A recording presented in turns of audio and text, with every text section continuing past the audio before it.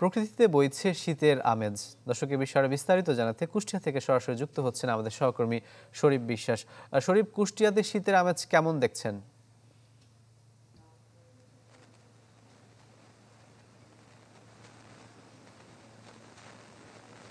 রাকিব কুষ্টিয়াতে শীতের আমেজ বলতে সবেমাত্র শুরু হয়েছে সপ্তাহখানেক আমরা দেখেছি। বিশেষ করে শহরে সেরকম শীত আমরা অনুভূত না হলেও আমরা দেখেছি গ্রামাঞ্চলে, বিশেষ করে শহর থেকে একটু শহরের বাইরে গেলে কিন্তু শীতের যে আবহাওয়া সেটি কিন্তু বোঝাই যায়। আমরা এই মুহূর্তে আছি কুষ্টিয়া সদর উপজেলার ঢাকা ঝালুপাড়া গ্রামে।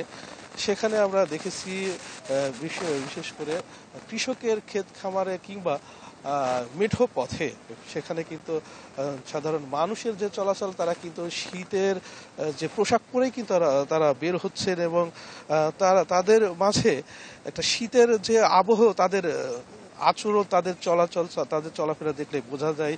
আর এই মুহূর্তে আছি একটি রাকিব, একটি বিষয় আমরা দেখানোর চেষ্টা করব দর্শকদের।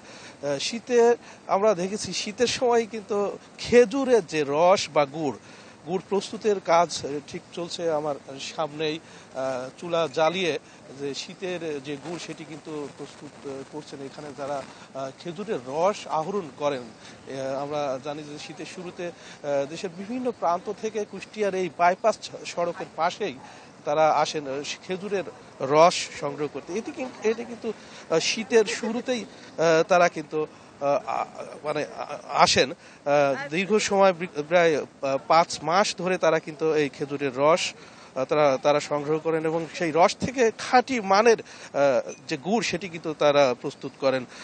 সব মিলিয়ে আমরা কিন্তু বলতেই পারি যে শীত যে এসে গেছে, সেটি কিন্তু স্পষ্টতই এখানে প্রকৃতি পরিবেশ দেখেই বোঝা যাচ্ছে। রাখি ধন্যবাদ শরীফ। দর্শক কুষ্টিয়া থেকে শীতের আগমনী বার্তার সবশেষ খবর জানাচ্ছিলেন সহকর্মী শরীফ বিশ্বাস।